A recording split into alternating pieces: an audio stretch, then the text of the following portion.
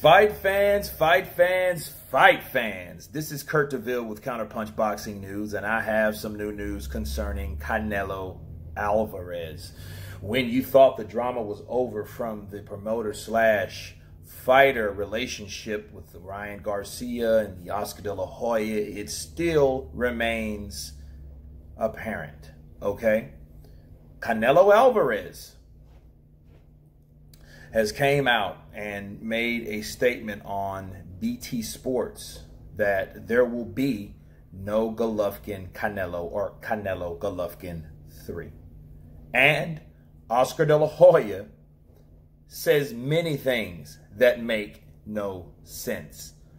Those are the words from Canelo Alvarez. That was his statement that he made to BT Sports.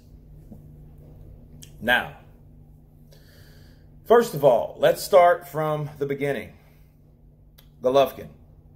There will be no Golovkin 3 rematch. Look, Canelo Alvarez knows at this point in his career that he can fight anyone. He knows a contract is his contract has nothing to do with Golovkin's contract. A lot of people think that was the case. No, it wasn't. It was Golovkin's contract from him coming to DAZN promised a Canelo fight, but it wasn't the other way around. Canelo was offered that $365 million contract. You're only good as the contract that you sign. And that's with promoters, that's with broadcasting uh, networks, that's with the whole nine yards. You're only as good as the promotional contracts that you sign. Okay? And he signed one of the biggest ones ever he signed that he signed like a baseball contract, okay? So him saying there will be no Golovkin 3, what Canelo is doing, he is telling you the way it is. Okay? He's telling you what he feels, regardless of what Oscar De La Hoya is saying. I'll get to him in a minute. He's giving you fights with Kovalev. Of course, we knew who the boogeymen were a few years ago, right?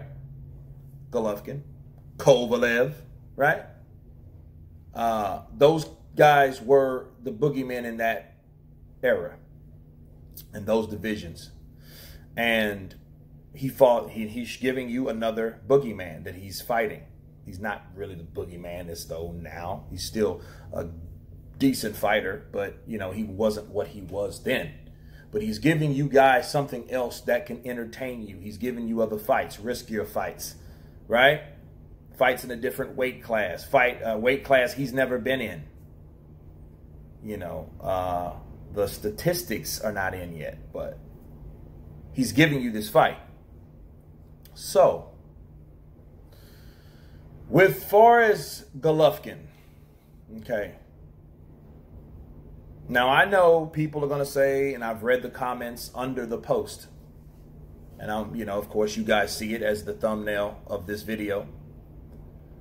And a lot of people, oh man, you know, he doesn't want to fight Golovkin because Golovkin will, will, clearly win.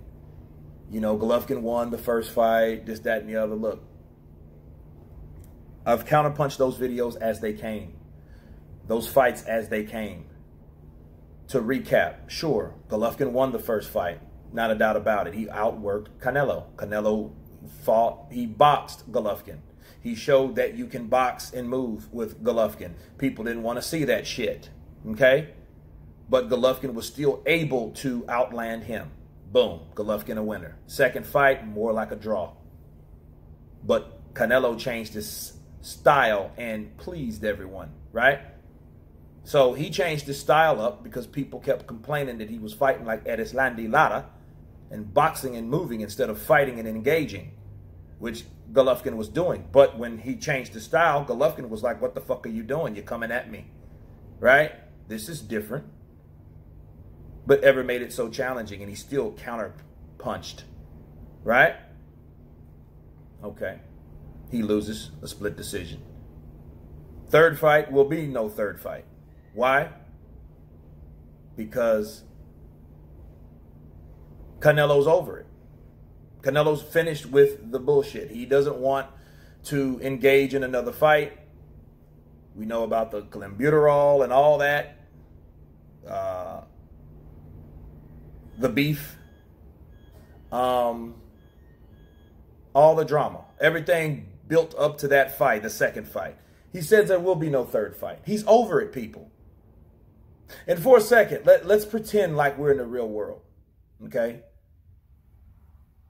We have to stop pretending that Canelo is on the same level as all these other fighters. We need to stop pretending that that's the case because it's not. It's not the case. Canelo Alvarez is not on the level that these fighters are on.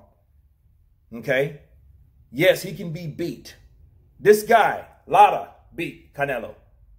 A lot of people feel that. Why didn't he win the decision? Because he's not on the level that Canelo's on. Neither is Golovkin. I don't care how many fans Golovkin had and won over. He was not a Canelo. He was not that guy that filled the seats. His first pay-per-view was with Lemieux. Okay? He beat David Lemieux, made it. He stopped him in, uh, stopped, the fight was stopped in the eighth round. TKO. Dropped him, I think, in the fourth with a body shot. Beautiful punch. I love the fight. It didn't do the numbers. Money talks, bullshit runs a marathon. We know how it goes. And we know Canelo is fucking, it's super hard to get a decision against Canelo. Floyd Mayweather made a majority decision and won a majority decision over him. So that should tell you something. Then this motherfucker's the, he was the face of boxing, him and Pacquiao, right? So let's stop acting like these guys are up there with him. The dude does what he wants. He's a good fighter. He's getting better as a fighter. But at the same time, he's protected on high. Now, Oscar De La Hoya. All right. What Canelo has said about Oscar De La Hoya, and I related the Ryan Garcia things to this because now it, it just shows you that these fighters are starting to speak their mind more and more because they know it's about the contracts, not about the promoters. Yes, he's uh, he is under promotion with Golden Boy. But what do you think holds more weight, that DAZN contract or the Golden Boy one? You think he couldn't just say, you know what, fuck you, Oscar De La Hoya, you're a cokehead, you're this, you're that, and I don't want you no more. You know what, I'm just going to work directly with John Skipper and fulfill my obligations with this contract with DAZN. You think he couldn't buy out Oscar De La Hoya and start just using his Canelo promotions all associated with DAZN? Right? Sponsored by Tecate and other places and other sponsors. You think he couldn't do that? Why do you think Canelo Alvarez now is saying these type of things? Because Ryan Garcia, you know, did open a can of worms. He planted a seed, right? Now Canelo's like, you know what? He's right. Oscar De La Hoya, you know, and, in, and for a while, he wasn't saying anything bad about Oscar De La Hoya. Remember that?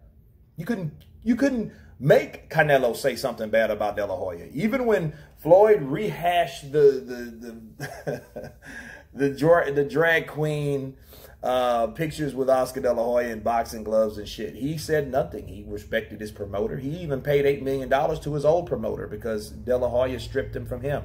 Breach of contract. He had to pay that man. Right? But now he's saying that De La Hoya is saying many things that don't make sense. Why? Because De La, De Hoya is trying to promote a fight with Golovkin because he wants this fight for whatever reason, right? Canelo doesn't want it. And as far as Golovkin, me counterpunching Golovkin, Golovkin should let it go.